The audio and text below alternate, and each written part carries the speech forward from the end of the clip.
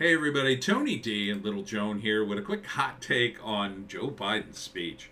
Now, let me tell you something. I tried to first I tried to do a live stream, uh, an impromptu live stream, but I effed it up and I put it on private and I ended up saying a bunch of stuff that I'm sure would have got me flagged on YouTube and I was half expecting to like see the stream go down midway because I had said things that I then ooh I regretted. Plus then I got a call in the middle of it which I had to take so I just deleted the whole thing because I, I, it just wasn't even worth putting up. It's just me being snarky and watching Biden. But um, yeah, I mean, this was one of the worst worst speeches I've ever seen for from a president because all it was was declaring that anybody who supports Donald Trump is a bigot, uh, doesn't, you know, is, is destroying democracy and has to be countered. This was a political speech. And look at the, the optics of this. And now, Razorfist was on Twitter saying that his staff is sabotaging him, and this is the only explanation for this. Because look at this. Look at this. This looks like it looks like America, an American president in hell. I mean, why would you use these red, red lights? Why? These blood red lights to light up the background using Marines as props. And, you know, it was interesting because the speech is all about how great America is and the Constitution is. And I just thought, that's not what most of your side believes anymore. They're all for throwing out the Constitution, for tearing it to pieces. They think everybody's a bigot who founded this country. But he kept alluding to that as if, I don't know, his constituents are all on board with that. They're just not anymore. I would say a good 25% of them would love to see all that thrown into the trash and, you know, socialism be the new norm. Uh, they would love it. Uh, this guy, man, he can't read a room. And over and over again, he said, This is what democracy is. He kept redefining democracy again and again and again. And every redefining was just, you know, at one point he just goes, uh, you know, basically implies everybody on the MAGA side is a bunch of, uh, you know, bigots. I guess I could say bigots on YouTube without getting flagged, but he said a lot worse he said a lot worse. And the implications are, you know, fortunately, I think this is just a lot of hyperbolic bluster. But man, he's, I think he's damaged the office of the presidency with this speech. I think it was that bad. This is a guy who's delusional in thinking that he's actually done some good. Uh, if he believes any of the words coming out of his mouth over and over again, he said, he had one line like, you know, we live in the, the light of truth and MAGA lives in the shadow of lies. like, is he is he a president or is he your pastor? Is he? Really I mean, it's really turning it into a religion to be so faithful to the Democrat belief system at this point. You really do have to have faith because you can't use logic. You know, this is a guy whose policies are absolutely devastating the economy. They're they're destroying the country. They're tearing it to pieces after Trump got some things running pretty well.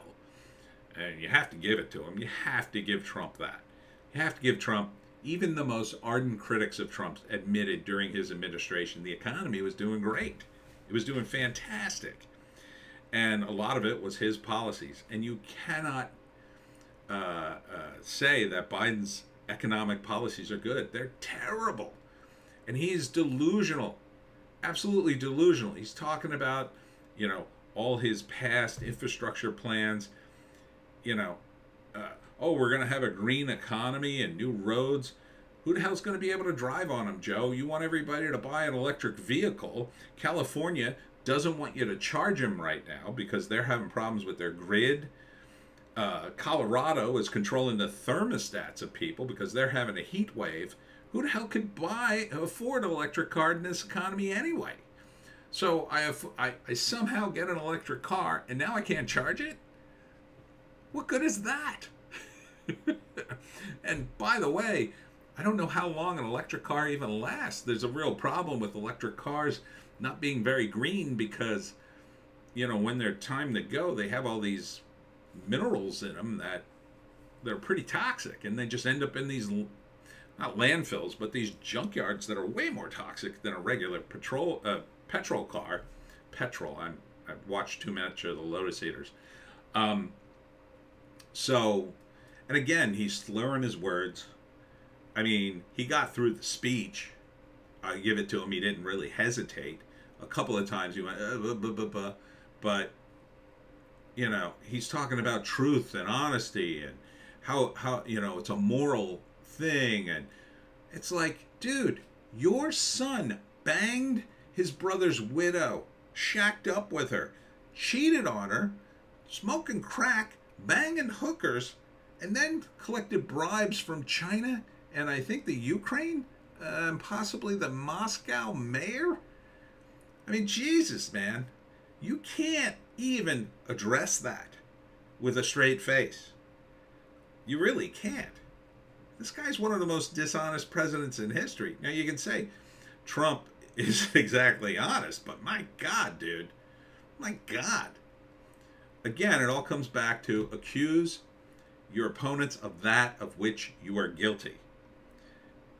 Now, he didn't use the word fascism tonight, uh, but I'll remind you, it just came out, I think today or late yesterday, that the Biden administration has been working with Google, Facebook, and Twitter to suppress certain uh, information, uh, medical information, I'll say, about a certain medical condition that now has come to light. And the people who were suppressed were correct about that certain medical condition and the things you should do for it. So that's a very defi- definition of fascism when you have the, the government working with corporations for political gains and profit.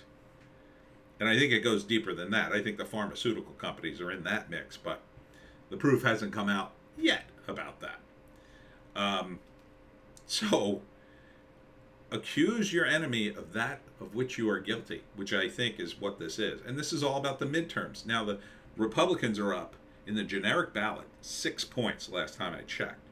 Six points. They've never been up in the generic ballot. Most people, and I was one of them, they hated Republicans, right?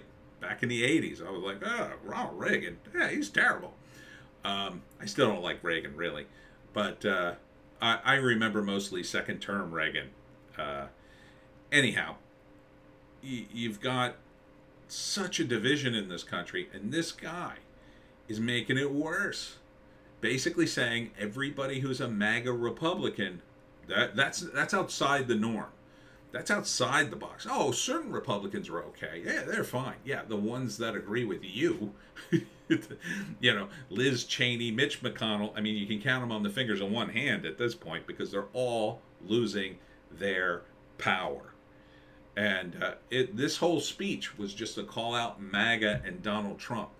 This is a president who acts like a victim. He's president of the United States, and he's saying, those guys, they didn't accept the election. What the hell matter, does that matter? You're the president, and there was absolutely nothing wrong with that election. YouTube, honk honk. Um, I wish I could say more, but I can't. But um, uh, maybe on maybe on another channel where I say that all the time. That's part of the reason I had to redo this. Anyhow, you know, and he brought back January 6th like it happened a week ago. Dude, you're in trouble with that one. The, the probes are going to get uh, reprobed, let's say, and this time it's going to be a House of Republicans. That's assured. The Republicans will take the House. The only question is, are they going to take the Senate? And it's actually looking slightly better for the Republicans to do that, which is good. Warnock is starting to, the gap starting to close between Warnock and Herschel Walker. Uh, the gap is closing between Oz and Fetterman. Fetterman's looking weaker and weaker every day. In fact, I don't think Fetterman should be in office. He should not be elected. He looks very weak uh, not just about his stroke, but uh, he's got a lot of wacky beliefs in my view, and I, and I can't stand Oz quite frankly, but I think you should vote for him. But anyhow, um, this was a speech to basically go after MAGA, and look at the background, this intimidating background. Why would you light him this way? Why wouldn't you do something? And this is irritating to the nervous system, by the way. When you use red, it's irritating to the nervous system. So this is not a happy, um, subconsciously, this is not a happy speech, right? You don't come away with this, you know, even just watching this this long is kind of irritating. Um, like if they had used yellow or red, white, and blue, maybe, or, or some light colors, blue. Blue probably would have been a nice soothing color. Uh, then it would have been a different different story. Instead, we've got this. He looks like a monster. He looks like he's giving a presidential address from hell. So, on top of the fact that he's kind of weak, he's kind of a weak monster. His wife had to bring him and take him from the podium. Let me put this on mute and click around. I, I think we have. Yeah, I mean, look at him. Look at him standing there. You ever see Trump stand there like that at the podium, like look off forlornly for his wife to come? So, the, half-ass salute, and then he's looking over, he's putting his hand out. Uh, it's like, yeah, he's he looked weak. He looked weak coming up. And and Jill, like like see, like this lighting here would have been great, right? This lighting would have been fine. Would have been bright, I mean, totally normal. But then, when he comes out, dun, dun, dun, dun, dun, dun, dun, dun, and why is he with his wife? Why is he with his wife? It's because I think Jill had to guide him to the podium to make sure he got there. To make sure he didn't fall down, to make sure he knew where he was, so he didn't start giving the speech you know, over here by the railing or wherever.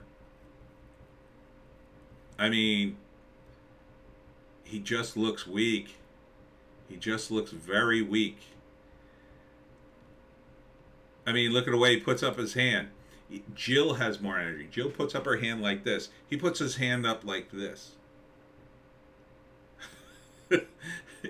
I mean, what is that? She's smiling and waving. He looks confused. He guides her off, gives her a kiss, okay? And yeah, he's, I assume, doped up to the eyeballs. Um, so again, I mean, I think this was an awful, awful speech. I mean, I can't stand Biden anyway. I'm totally biased, I'll admit. But my God, when you're talking about the soul of the nation, why why did you give this speech? Why now? Why don't you go campaign for all these people that you want elected? He can't. Nobody wants to campaign with him. He's radioactive politically. This is the only thing he can do. You just bash, bash, bash MAGA, hoping that maybe he gets a few hundred votes out of this for the down ticket guys. The down ticket guys are screwed. They're all screwed. Everybody blames the Democrats for the current economy. You have no one to blame but you. You did this. You're spending money we don't have.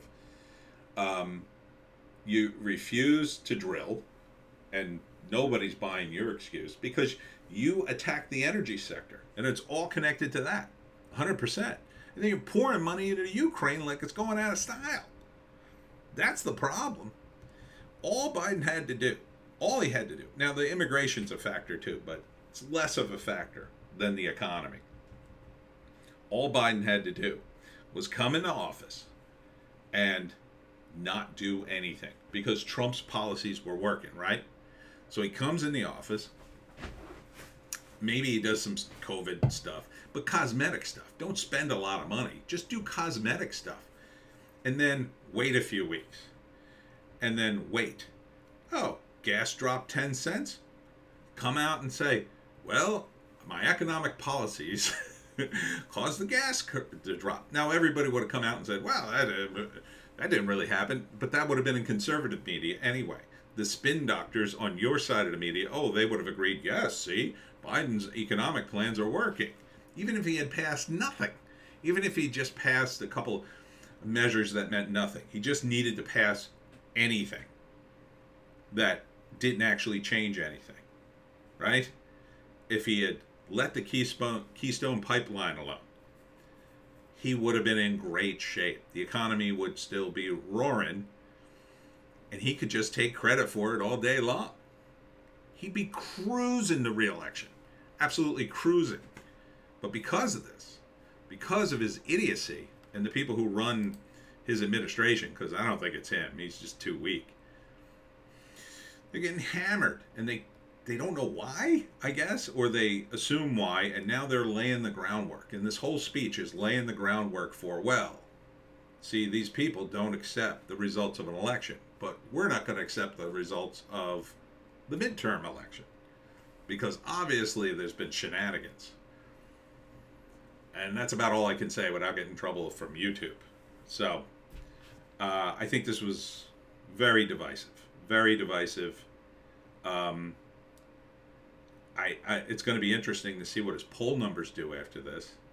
I can't imagine a lot of people watched this and felt, "Wow, I'm really inspired and hopeful that Joe Biden is president and of hell, and uh, is going to do a lot of great things." I, I really can't imagine. Anyhow, uh, that's my hot take. I, I'm sorry I screwed up the live stream.